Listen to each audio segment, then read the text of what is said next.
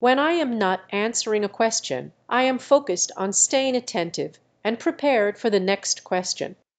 I may also take a moment to reflect on the topic being discussed and consider different ways to explain it effectively.